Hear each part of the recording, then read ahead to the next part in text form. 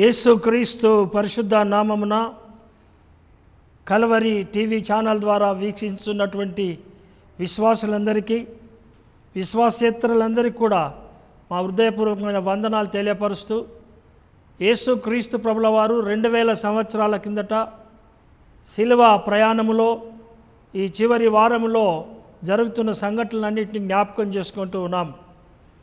గత వారం జయోత్సవంతో ఎరసలేము వెళ్ళినటువంటి సంఘటన. పస్కా పండుగ ఇంకా రెండు దినాలు ఉన్నదనగా పులియన్ రొట్టెల పండుగ వచ్చింది. అప్పుడు ప్రధాన యాజకులు శాస్త్రులు మాయోపాయముల చేత ఆయన ఎలాగ పట్టుకొని ఆయనను చంపుదామని ఆలోచిస్తూ ఉన్నారు.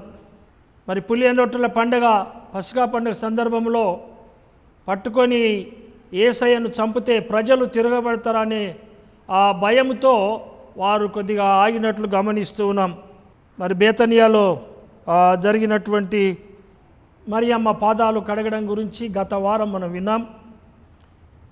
మరి ఈ వారంలో ఈ యొక్క మాండీ థర్స్డే అనేటటువంటి పేరు మనకు తెలుసు. నియమ గురువారం అని పిలువబడుతుంది.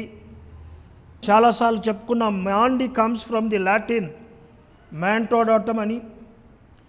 కమాండ్మెంట్ ఆఫ్ గాడ్ అని. ఈ మాండికి కమాండ్మెంట్ ఆఫ్ గాడ్ అని.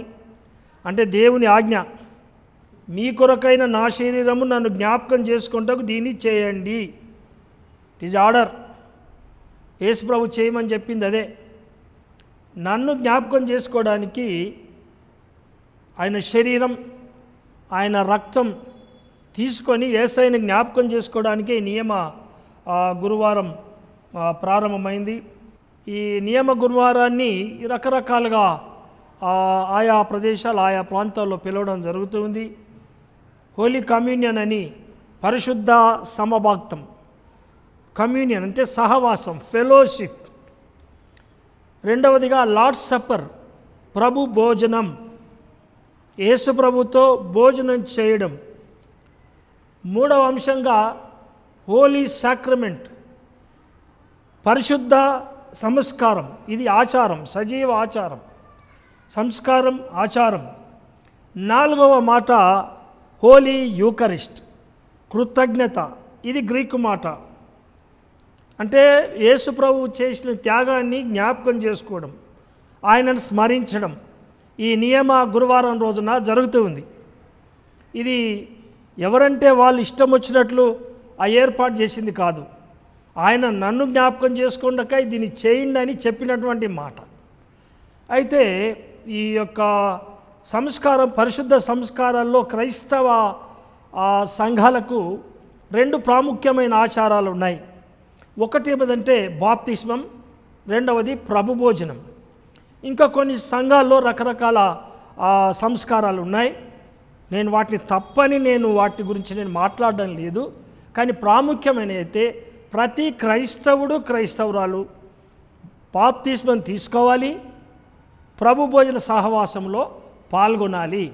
ఇవి చాలా ప్రాముఖ్యమైనటువంటి విషయాలు. మరి ఈ విషయాలన్నింటినీ ధ్యానం చేయాలంటే మార్కు స్వార్త పద్నాలుగవ అధ్యాయం పన్నెండవ వచనం నుంచి ముప్పై ఒక్క వచనం వరకు మీరు చదువుకోవచ్చని జ్ఞాపకం చేస్తూ ఉన్నాను.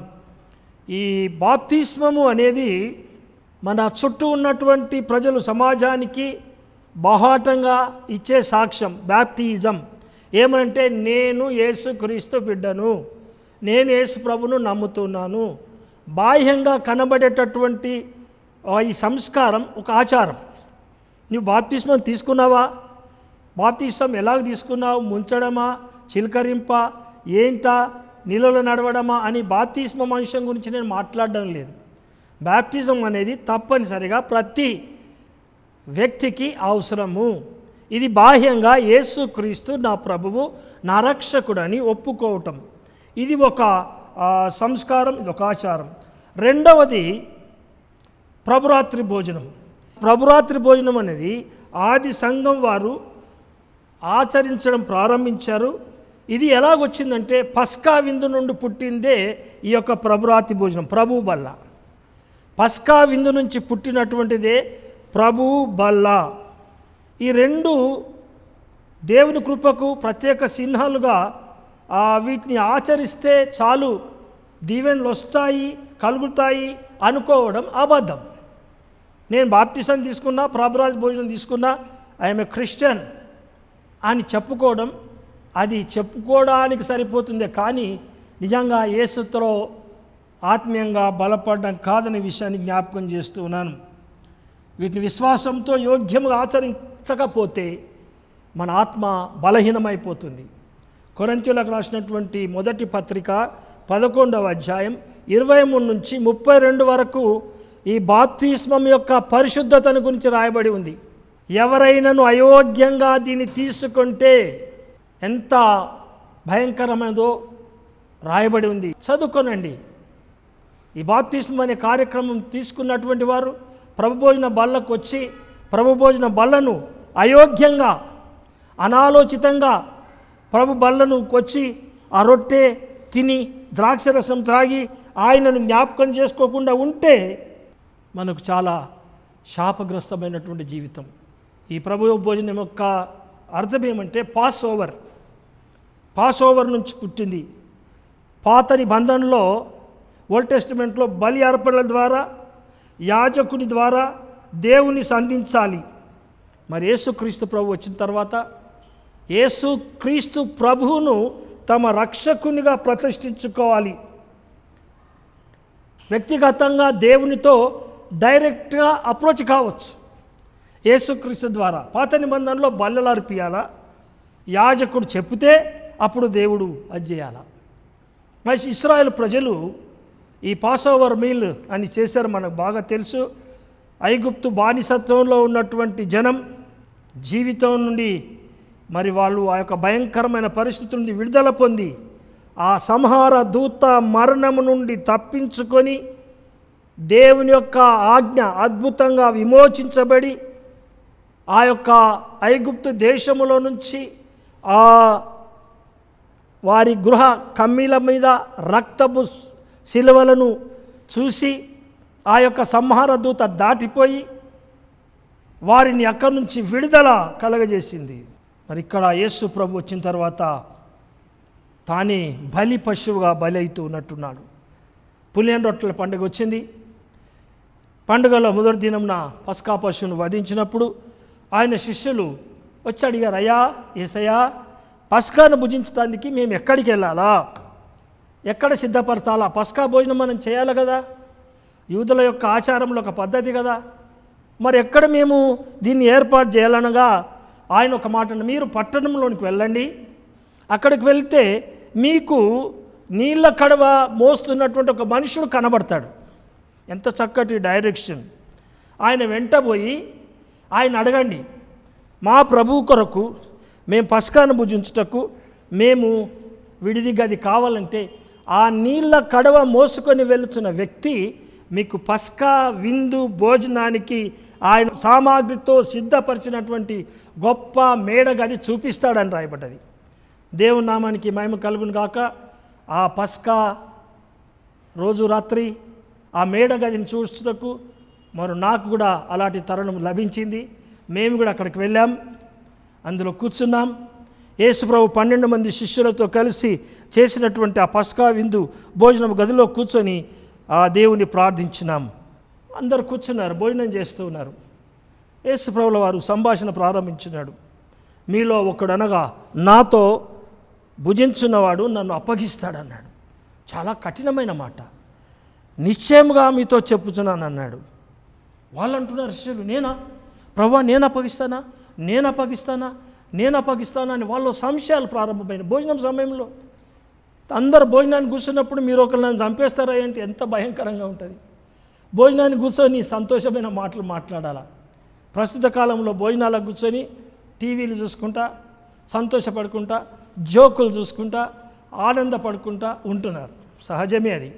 అదేం పాపం అని అనడంలే కానీ ఇక్కడ చూడు భోజనాన్ని కూర్చున్నాక మీరు ఒకరు నన్ను చంపేస్తారు అన్నాడు యేసుప్రభు. అక్కడ పేతురు యాకోబు యోహాను నేనా నేనా నేనా నేనా అంటే యేసుప్రభు అన్నాడు. అందులో మరి అప్పుడు అందుకు ఆయన పన్నెండు మందిలో ఒకడు అనగా నాతో కూడా పాత్రలో చేయి ముంచువాడే. యూదయస్కర్యోత్ అప్పుడే చేయి ముంచుతున్నాడు ఆ యొక్క రొట్టె తీసుకోవడానికి.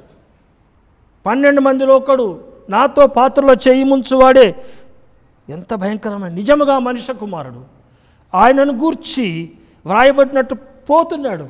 తప్పక నేను మరణించాలి. మీ కొరకు చావాలి. పాతి పెట్టబడాలి. మూడవ దినాన లేవాలి. అప్పుడే రక్షణ భాగ్యం. ఎవని చేత అప్పగించబడుచున్నానో వానికి శ్రమ. ఆ మనుషుడు పుట్టి ఉండకుంటే మేలు అన్నాడు. చాలా నిశ్శబ్దత ఏర్పడింది. యూధాయిస్కర్యోత్ అని అందరికి తెలిసిపోయింది. అప్పుడు పాత్రలో చేయి ముంచిన వాడు యూధైస్కర్యోతే అయ్యో యూదన్నా ఈయన అప్పచెప్తాడా? నిశ్శబ్దత ఏర్పడింది అప్పుడు యేసు ప్రభు భోజనం చేస్తుంటే ఒక రొట్టెని పట్టుకొని స్తోత్రం చేసి దాన్ని విరిచి శిష్యులకిచ్చి ఇది తీసుకొని తుండి. ఇది మీ కొరకు ఇవ్వబడుచున్న నా శరీరం. నా శరీరం మీకోసం ఇరిసి ఇవ్వబడుతుంది. నన్ను జ్ఞాపకం చేసుకుంటూ చేయండి అన్నాడు. ఆ తర్వాత భోజనమైన పిమట ఆయన గిన్నెను పట్టుకొని స్తోత్రం చేసి అది వారికి ఇచ్చి దీనిలోనిది మీరందరూ తాగుడి. ఇది మీ కొరకు చిందింపబడుచున్న కొత్త నిబంధన యొక్క నా రక్తం. దీన్ని త్రాగునప్పుడెల్లా నన్ను జ్ఞాపకం చేసుకున్నటకై దీన్ని చేయడని చెప్పాను. ఆ రోజు రాత్రి మరి యొక్క పస్కా పండుగ సమయంలో యేసుప్రభుల వారు చివరి రాత్రి భోజనం last supper Lord supper holy communion. Holy eucharist విందు భోజనం. మార్కు అను మారు పేరు గల యోహాను తల్లి ఇంట్లో జరిగినట్లు మనం చూస్తూ ఉన్నాం. అపోస్తుల కార్యం పన్నెండవ అధ్యాయం పన్నెండవ వచనంలో మనం చూస్తాం. ప్రియమైన వార్లరా తను అప్పగించనున్నటువంటి యూదాను గురించి ముందు తెలుసుకొని ఈరోజు నీతో నాతో మాట్లాడుతున్న మాటలు ఈ ఆచారం మంచిదే. మరి హోలీ కమ్యూనిటీ సహవాసం మంచిదే. మనలో ఎంతమంది యేసు ప్రభుని అప్పగించేవారం ఉన్నాము యేసు ప్రభుని తిరిగి సిలువ వేయడానికి సిద్ధంగా ఉన్నాం. అయ్యా ఆయన ఇక్కడ లేడు కదా. ఆయన మేమెందుకు సిలువ వేస్తామని అంటే యేసు ప్రభు సువార్త ప్రకటించేవారిని ఎంతోమంది కొడుతూ ఉన్నారు? జాగ్రత్త. యేసు క్రీస్తు ప్రభు రక్షకుని వార్త చాటించేవారిని చంపేస్తూ ఉన్నారు ఎంత విచారకరమైన సంగతి. వాళ్ళు పాపం చేయడం లేదే. యేసు లోకరక్షకుడు అంటున్నారు. నీకు విశ్వాసం ఉంటే నమ్ము లేకపోతే లేదు. యేసు లోకరక్షకుడు అని నిన్ను రక్షించే దేవుడు అని చెప్తే నీ ఇష్టం ఉంటే ఆయన అంగీకరించు లేకపోతే లేదు. కానీ ప్రకటించేటటువంటి వారిని చంపేయడం రాళ్ళతో కొట్టడం దెబ్బలు కొట్టడం బైబిల్ని చింపేయటం బైబుల్లను కాల్చేయటం ఎంతవరకు ఒక మానవ రీతిగా ఆలోచించండి. బట్టల షాప్కి వెళ్తావు నీ ఇష్టం ఉన్న బట్ట కొనుక్కుంటావు. హోటల్కి వెళ్తావు నీ ఇష్ట భోజనం తింటావు. ప్రయాణం చేస్తావు ఇష్టం ఉన్న కారులో వెళ్తావు. నీ ఇష్టం ఉన్న ఫ్లైట్లో వెళ్తావు. అది నీ ఇష్టపడితేనే. ఏసే రక్షకుడని ప్రకటించేవారు ప్రకటిస్తారు. ఇష్టం నీ దగ్గర ఉంది. ఫ్లైట్లు ఎన్నో ఉన్నాయి. నువ్వు ఏ ఫ్లైట్లో పోవాలో నీ ఇష్టం కదా. ఏ హెలికాప్టర్లో పోవాలో నీ ఇష్టం కదా. ఎందులో ప్రయాణం నీ ఇష్టం కదా. తెలుసుకో ఏది సరి అయిందో తెలుసుకోమని సమయంలో జ్ఞాపకం చేస్తున్నాం యూద ఇస్కరియో తెలుసుకోలేకపోయాడు. ఈ లోకమైనటువంటి ధనం శాశ్వతం అనుకున్నాడు. ఆ డబ్బు దొంగతనం చేస్తూ ప్రారంభించాడు. అది ఎత్తుకొని పోయి తన జీవితంలో యూద ఇస్కరియోతు మరి ముప్పై నాణ్యాలకు యేసుప్రభు నమ్మి తానేమైనా సుఖపడ్డా తన భార్య బిడ్డలకేమైనా కొనుక్కొచ్చాడా? యేసు ప్రభు కంటే ముందు వెళ్ళి చెట్టుకు ఊరేసుకొని చనిపోయాడు. ఎవే ముప్పై రూపాయలకైతే యూద అమ్మాడో ఆ ప్రధాన యాజకులు శాస్త్రులు తీసుకోలేదు ఎల్లో మా పని అయిపోయింది. ఈ రోజున యేసు ప్రభుని నమ్ముకుంటున్నటువంటి వారంగా మనం ఉన్నామా? ఒక్కసారి ఆయన శిల్వ శ్రమ ధ్యానాలలో నీ కొరకు మరణించు ఎందుకు మరణించాలి దేవుడు అనంటే పుణ్యుని రక్తం కావాలి. పశువుల రక్తంలో విమోచన లేదు. జంతువుల రక్తంలో విమోచన లేదు. దహన బలంలో విమోచన లేదు. కొబ్బరికాయలలో విమోచన లేదు. గంగాల్లో మునగడంలో విమోచన లేదు. విమోచన యేసు క్రీస్తు ప్రభువు రక్షకుడిని ఒప్పుకొని నీ నోటితో ఒప్పుకొని హృదయమందు విశ్వసిస్తే నీకు విమోచన. ఎందుకంటే నీ కొరకు బలి అయింది సిలువలో యేసు క్రీస్తు ప్రభుల వారొక్కరే.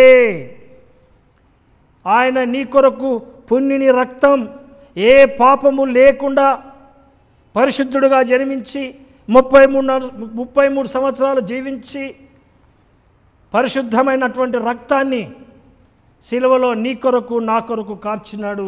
అందుకే అంటున్నాడు నన్ను జ్ఞాపకం చేసుకుంటకై దీన్ని చేయండి. ఆయనని జ్ఞాపకం చేసుకోవాలి సమావాక్త రోజున. ఆ రోజు నిశ్శబ్దం అయిపోయింది గురువారం రాత్రి యేసుప్రభు గెసమనే తోటలోనికి వెళ్ళాడు. గెసమనే తోటలో ప్రార్థిస్తూ ఉన్నాడు. యూదా ఐశ్వర్యత వచ్చాడు. ముద్దు పెట్టాడు. అప్పగించాడు. యూదా చేయవలసింది చేయి నాయనా. ముద్దు పెట్టి నన్ను అప్పగిస్తూ ఉన్నావా? ఎంత ప్రేమతో కూడిన మాట. అప్పుడైనా యూద ఇస్కరియోత్తు మనసు మార్చుకోవచ్చు కదా? అయ్యో నేను తప్పు చేశానే? నేను తప్పు చేశానని మార్చుకోలేక ఎక్కడ క్షమాపణ దొరకదో అక్కడికి పరిగెత్తాడు ముప్పై రూపాయలు తీసుకొని. ఆ యూదులు ప్రధాన యాజకులు శాస్త్రులు అవసరం లే మాకు వెళ్ళన్నారు. యేసు పాదాల మీద పడి అయ్యా తప్పైంది నాయన అని ఆ గెస్సమనే తోటలో ప్రార్థిస్తే ఆ శిలువ మీద దొంగకు దొరికిన విమోచన దొరికేది కదా? రిపెంటెన్స్ లేదు. హృదయ పరివర్తన లేదు. మారు మనసు లేదు. పశ్చాత్తాపం లేదు. తిరిగి పాపి పాపుల దగ్గరికి వెళ్ళాడు. పాపి రక్షకుని దగ్గరికి రావాలి. పాపం చేసేవాడు ఏసయ దగ్గరకు రావాలా? విమోచన రక్షణ ఏసయ దగ్గర ఉంది కానీ డబ్బులకు అన్యాయం చేసేటటువంటి అక్రమకారులకు ఆలయాన్ని పాడు చేసేటటువంటి దుర్మార్గులకు లేదు. రేబిడ్డలారా ఆ రాత్రి ఏసైను బహు హింసించారు కత్తులతో గుడియలతో గుద్ది కొట్టి ఆయన మహాభయంకరంగా హింసించి ఆ గురువారం రాత్రి గెస్సమని తోటలో ఎంతగానో ప్రార్థిస్తున్నాడు. పేతురు యాకుబు యోహాలు నిద్రపోతూ ఉన్నారు. అయ్యా నా కొరకు ఒక్క నిమిషమైనా మీరు మేల్కొని ఉండలేదా?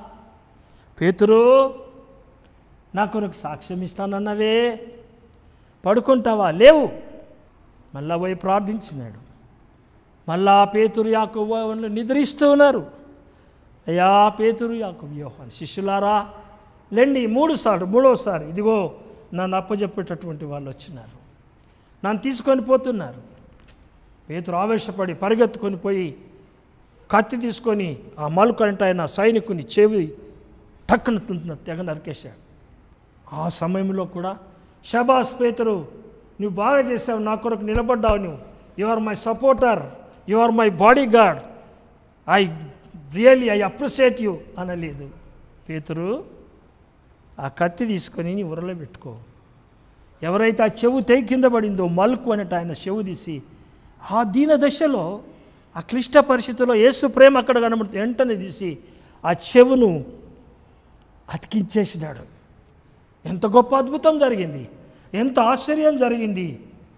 ప్రియమైన వాళ్ళారా ఆ రాత్రి ఆయనను పట్టుకొని వెళ్ళి ప్రధాన యాజకుడు ఫస్ట్ ప్రధాన యాజకుడి దగ్గర తీసుకెళ్ళారు. సైనికులు సహస్రాధిపతులు యూదులు బంట్రౌతులు కాయపయోధ విమర్శ సన్నిహితుల సభ వారు వచ్చినారు. మోసే ధర్మశాస్త్రం వరకు ఇద్దరు సాక్షులను అబద్ధ సాక్షులను తీసుకొని వచ్చినారు. ఆయన మీద అబద్ధాలు మోపుతున్నారు. ఇగో ఈయన దేవాలయం పొడగొట్టి మూడు రోజులలో లేపుతానన్నాడు. అబద్ధం. ఇదిగో ఈయన దేవుని కుమారుడని చెప్పాడు. సన్నిహితుని సభవారు ఆ రాత్రి విమర్శన చేయకూడదు అంటే ఈ లోక ఈ లోక రీతిగా తెలుసుకుంటే సన్నిహితుని సభలో డెబ్బై ఒక్క మంది ఉంటారు. సుప్రీంకోర్టుల తీర్మానం అన్న తీర్పు. ప్రియమైన బిడ్డలారా మరుసటి రోజు శుక్రవారం రోజు సన్నిహితుని సభలో తీసుకొని పోయి నీవు క్రీస్తువైతే మాతో చెప్పు నీవు దేవుని కుమారుడవా? అని యేసు ప్రభును కొడుతూ అడిగారు. ప్రియమైన బిడ్డలారా ఎంతో బాధ. మొక్క మీద ఉమ్మి కాళ్ళతో దన్నారు పిడిగుద్దులు గుద్దారు. పిలాత్ అధిపతి అయిన పిలాత్ దగ్గర తీసుకొని పోయినారు. అధికార మందిరం పిలాతు నిలబడ్డాడు. విన్నాడు? ఇక్కడ ఉన్న ఇద్దరు నేరాస్తుల్లో ఎవరిని విడిచిపెట్టాలి? నాకు ఈయన యందు ఏ నేరం కనబడలేదు. బరబ్బనా? ఏసయ్యనా? ఏసయ్యను సిలువేయము సిలువేయము సిలువేయము నీతి న్యాయము లేనటువంటి ఆ యొక్క లోకం. ఆ ప్రజలు ఆ దినాన ఉన్నారు ఈ దినాన కూడా ఉన్నారు. నీతి న్యాయం ధర్మం సమత చెప్పడానికే సరిపోతుంది. ఆ రీతిగా బ్రతికే వాళ్ళను సంపుతూ ఉన్నారు. హింసిస్తూ ఉన్నారు బాధ పెడుతూ ఉన్నారు. రే బిడ్డలారా యేసు ప్రభులో ఏమి తప్పు లేదు నాకు ఏ తప్పు కనబడలేదు ఈయనలో ఏ నేరము లేదు నాకే నేరం కనబడడం లేదని పిలాతు తాను తప్పించుకున్నాడు. సరే ఈయనను మీకు అప్పజెప్తున్నాను అన్నాడు. ఈ శుభ శుక్రవారం రోజు ఈ రీతిగా కైప పిలాతు ఆ గలలే రాజుని హేరోదు వీళ్ళందరూ కూడా యేసు క్రీస్తు ప్రభువుకు సపోర్ట్ చేసి ఆయన విడిపించడానికి ప్రయత్నం చేయలేదు. కారణం ఏమిటి? ఏసయ్యను చేసిన పొరపాటు ఏమిటి? ఏ చేసిన తప్పేమిటి వారికి ఏసై అంటే ధర్మశాస్త్రానికి విరోధంగా ఉన్నటువంటి వ్యక్తి అని మాత్రమే కానీ ఆయన పరలోకం నుంచి వచ్చినటువంటి దైవ కుమారుడు అని విశ్వసించలేదు. ధర్మశాస్త్రానికి విరోధం అన్నారు. కానీ క్రియారూపకంగా చూస్తే కుంటి వాళ్ళకు కాళ్ళను గుడ్డి వాళ్ళకు కళ్ళను చనిపోయిన వారిని లేవనెత్తడం కుష్ఠరోగులను ముట్టడం దేవాలయాన్ని శుద్ధి చేయడం ఇది దేవుని కుమారుడు చేసే పని కదా. కానీ వారిలో ఆ యొక్క విశ్వాసం లేదు. ప్రేమైనటువంటి వాళ్ళారా ఆ శుక్రవారం రోజు పై వస్త్రాలు తీసివేశారు ఎర్రని నిలువుటంగి తొడిగించారు తల మీద ముళ్ళ కిరీటం పెట్టారు ఒక రెల్లు కుడి చేతిలో ఉంచారు. యూదుల రాజా యూదుల రాజా అని అపహసించి ఉమ్మివేసి రెల్లుతో కొట్టి ఒకటి తక్కువ నలభై దెబ్బలు కొట్టినారు ఏసయ్యను. శిలోపైన యేసు క్రీస్తు నాదునిపై పెట్టి గొల్గతాకు తీసుకొని పోతూ ఉన్నారు. ఆ ప్రయాణం మీరు వెళ్తే ఆ యొక్క దేశంలో మీరు చూడవచ్చు. ఆ శిలవ ప్రయాణం రహదారి మహాభయంకరమైనటువంటి తూలిపోతున్నాడు పడిపోతున్నాడు దారిన వెళ్తున్నటువంటి కురేండి అయిన సీమను పట్టుకొని వచ్చి ఆయన మీద వేసినారు. అమ్మో అమ్మో నా ప్రవ్వా నా బిడ్డ నా అని మగవాళ్ళు కాదు స్త్రీలు ఏడుస్తూ ఉన్నారు. ఎరుసలేము కుమార్తెల యొక్క విలాపం కపాలమును అర్థమిచ్చు గొలగతాను స్థలానికి వెళ్తూ ఉంటే ఆ యొక్క దుఃఖం ఈ రోజున తలపేస్తే మన హృదయాల్లో కరిగిపోతున్నాయి. సెలవు వేయమని ఒక దిక్కు. అయ్యా ఏసయ్యా అని ఒక దిక్కు. ప్రభుల వారు ఆ దుఃఖంలో ఆ తల్లితో పాటు అక్కడున్న స్త్రీలను చూసి అమ్మలారా నా కొరకు కాదు మీ కొరకు మీ పిల్లల కొరకు ఏడవండి అని చెప్పడం చూస్తూ ఉన్నాం. ప్రేబిడ్డలారా అక్కడికి వెళ్ళి కుడి ప్రక్కన ఒక దొంగను ఎడమ ప్రక్క ఒక దొంగను సిలువకు వేశారు. భయంకరమైనటువంటి పరిస్థితి.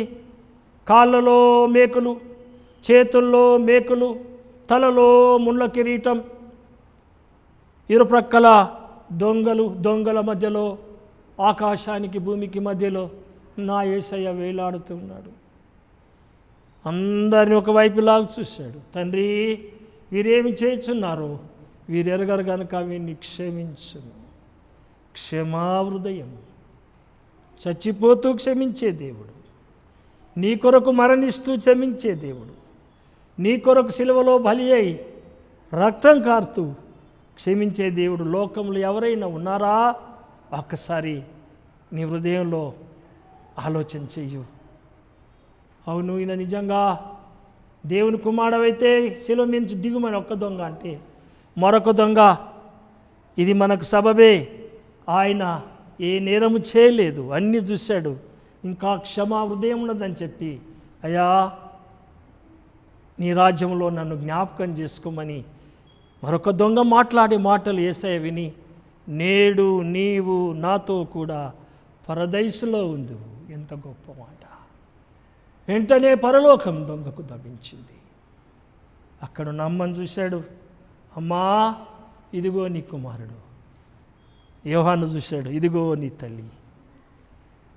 రామారామి మధ్యాహ్నం అంతా చీకటైపోయింది.